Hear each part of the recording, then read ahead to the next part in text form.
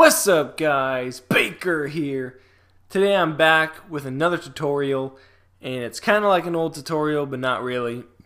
All I did for today was uh, take my automatic smooth transition plugin preset thing and made it compatible for After Effects CS4 and up because before I created it in CS6 and only users that had that version or newer could use it.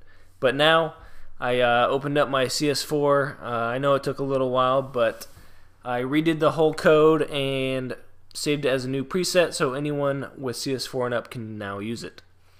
So, download link is in the description. Uh, go ahead and check it out.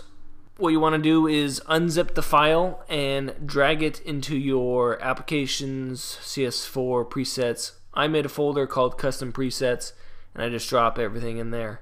Um, you can make you know any other folder, but all you do is drop it in there and um, go ahead and load it right up. If you don't see it, you want to click on this button and refresh your list.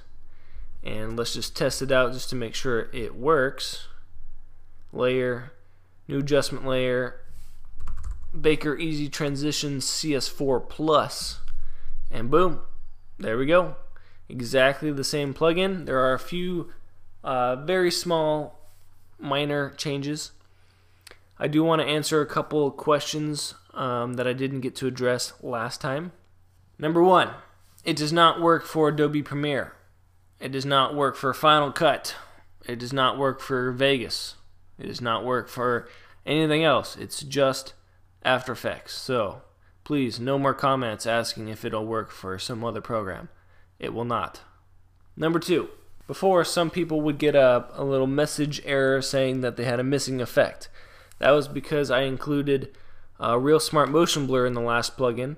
This time I didn't include it because some people didn't have it, and it's okay if you don't have it. Just delete uh, the RSMB, which I don't have this time, and just use the standard built-in blurs right here. No problem. If you have RSMB and you want to use it, go ahead and add it on.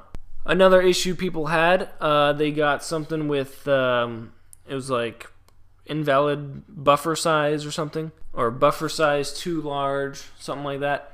That's just your motion tile going too crazy. The image size is too large. Your output is too high when you zoomed out. So I like to keep it around two to 300. That way you're not tiling, you know, billions of pixels. So you know, just keep it standard and don't zoom out or zoom in super far.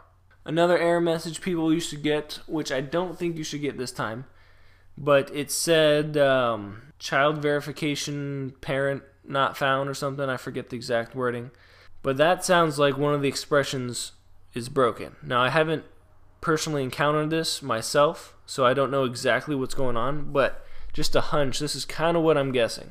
When you go into your expressions, you'll see something that looks like this. A yellow triangle with an exclamation point, probably. I don't know. All you have to do is click the equal sign and it'll reestablish that connection and basically turn that expression back on. Again, I don't know because I've never experienced it, but that's just a hunch. So just go through the expressions, check it out, make sure everything looks okay, like it's all turned on.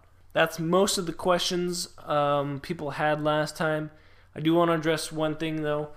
Um, I did manage to give away uh, 12 over 12,000 copies of my plugin over the course of I don't know how long it's been, four months, five months, or something.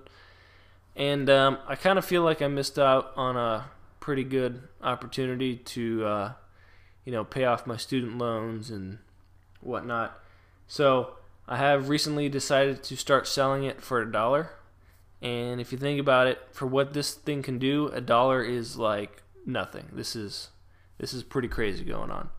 And you know, after all the fees and whatnot that get taken out, I don't even get a dollar. I get 60 cents. So, you know, asking for donations wasn't really cutting it, to be honest. So I hope you guys understand. It's just a dollar for a download.